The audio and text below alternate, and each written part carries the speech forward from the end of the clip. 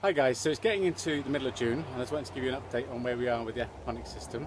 So what we've done is we've uh, cycled the system through, it's gone through uh, a number of weeks, seems to be uh, settling down and we've got the nitrite and the nitrate levels uh, you know, at a good uh, level and uh, the plant seems to be doing okay.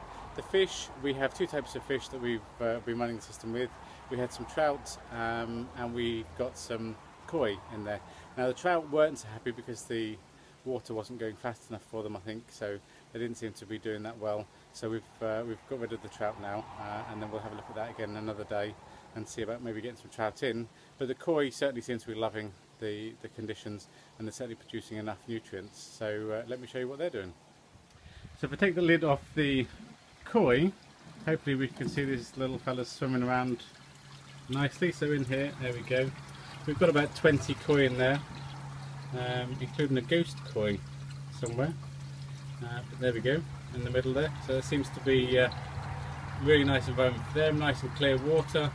You can see just uh, you know a little bit of algae growth just at the bottom and at the sides there. So that all seems to be coming uh, fairly clean, and uh, they're keeping nice and happy.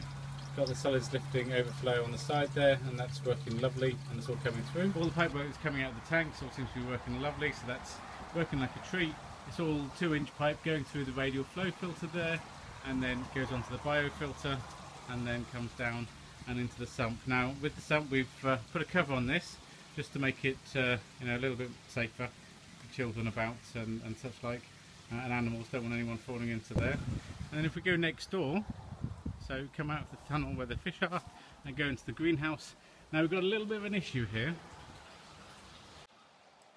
So we have the canal that's got all of the um, plants in there which will be floating on the top there. So we've got deep water culture and unfortunately, if you can see down the sides here, it's slipped quite considerably. So the actual sides have moved away from the floats, uh, the rafts on top there, and we now have probably four, five inch gap down the sides.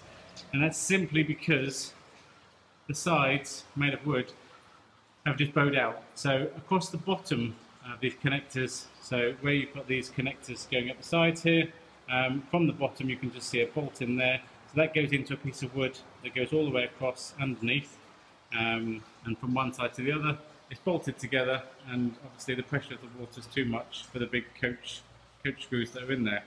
So what I've done is I've just been to uh, a local welding company and what I've done is I've just got some rods um, and they've just welded on some threaded ends for me.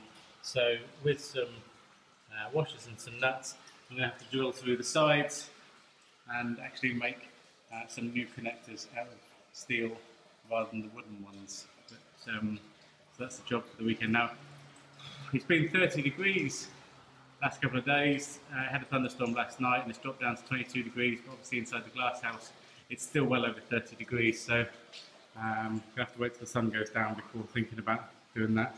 And you can see that the plants here um, not got as many nutrients as we'd like uh, at the moment, so they're a little bit yellow uh, and not getting enough. But the tomatoes down the side in the suspended pot deep water hydroponics.